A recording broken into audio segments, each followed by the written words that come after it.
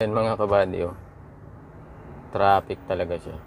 Siguro may aksidente dun sa harapan. Hindi ko alam kung anong gagawin namin dito ngayon. Malilate ako na ito sa Subic. Hindi ko alam.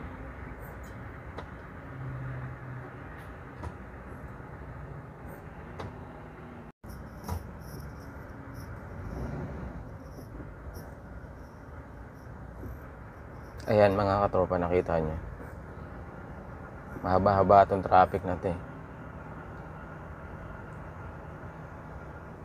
Medyo moving naman pero wala. Mabagal pa din. Hindi ko alam kung hanggang saan to. eh.